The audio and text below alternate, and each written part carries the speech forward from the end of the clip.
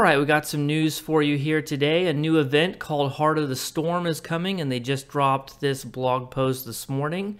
So, as part of our upcoming content release from May 10th to June 9th, and later this year for console, a special event looms this new event will give an opportunity to drive back the Terrans and claim an epic reward, the Kuumaarke Visionary Ground Set. Read more to find out about this event and its rewards. I'll say up front, this is not part of the event campaign. So if the only events you care about are for event campaign, you're totally safe to skip this one. It is a ground-based reward. Some people don't care about that, so you might want to skip it for that reason. Let's go ahead and take a look. Event progress, it's a 20 day event, so you'll need to get 20 days worth of progress. And then it's the usual stuff where uh, you can get the scaling dilithium starting at 8,000 if you continue to do it after the you've already gotten your 20 daily progress. And of course, there will be a Zen buyout uh, if you just want to buy the thing out or you need to finish it early or whatever. So you do have a pretty good choice of things you can participate in. You've got four Terran-based uh, TFO or episodes: Firewall, Red Shift, two new ones, Blue Shift, and The Calling. Then you've got four choices of TFO. You can do Operation Wolf, Lupitor Aratus, Forged in Fire, which is also new, and Counterpoint. So we're getting three new things to do, two episodes and one new TFO, and I will be doing review videos for all three of those, so stay tuned for those in the future. We do get a picture of what the ground set's going to look like here, but not really uh, the, the, weapons in action or any of that stuff, so we're just going to have to use our imaginations, but they do give us some descriptions down here. The, the Kuumaarke Visionary ground set. Little is known about the Kuumaarke of the Mirror Universe, and that is frightening. Uh, Mirror Universe Kuumaarke must be incredibly evil if we know anything about Mirror Universe counterparts because they tend to be the uh, opposite version of you, and they, because most of the characters we follow are good guys, they tend to be evil.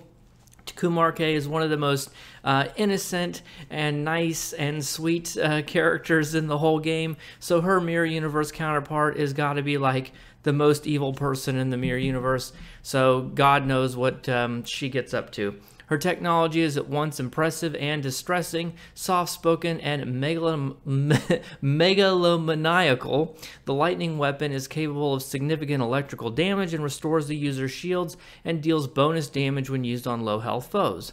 Even more potential is stored in the tertiary attack, a shockwave which converts the user's shields into electric damage for a dramatic bonus to kit performance for the user's next kit module, or Symphony of Lightning, which is a uh, bonus. It's a three piece bonus. The armor contains an array of backup capacitors able to restore full power to the personal shield generator at a moment's notice. And I think that's a pretty neat effect just in general. Being able to replenish your shields is one of the most powerful effects you can have on the ground for survival.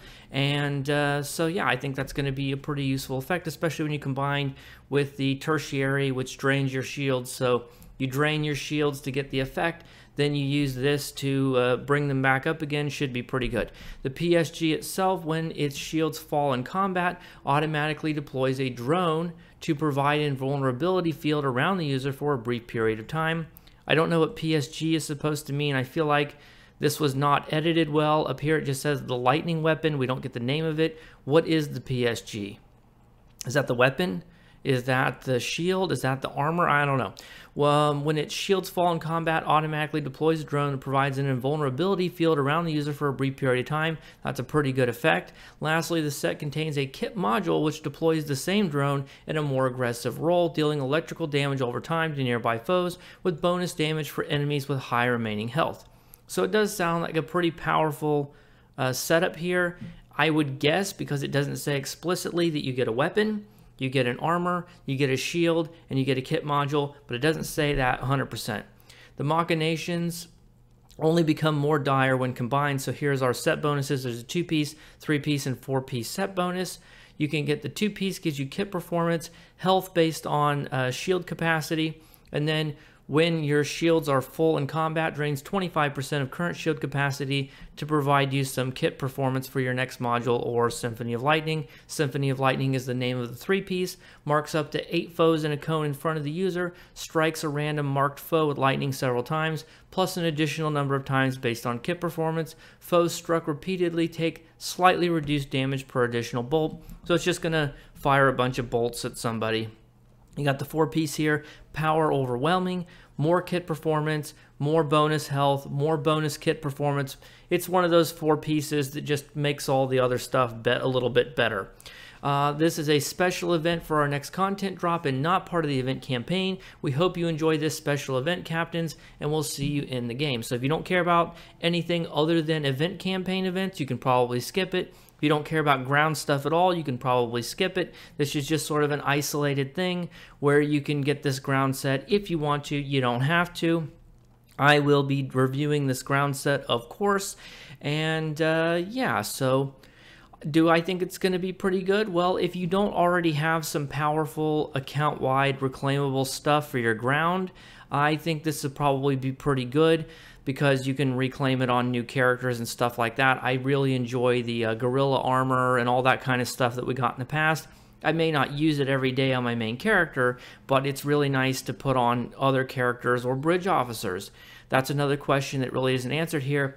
Can this go on bridge officers? I don't know. If you can put it on your bridge officers, that would be pretty good as well, but I could see them maybe not allowing you to do that. So yeah, I think this is probably worth getting if you do any kind of amount of ground content or if you plan on leveling up a new character or anything like that. It's probably worth going after. Anyway, that's the news. Uh, so look out for that on May 10th on PC. We'll have to find out more about console. Take care of yourselves. As always, a special thank you to my channel members. I'll see you in the next one. Bye for now.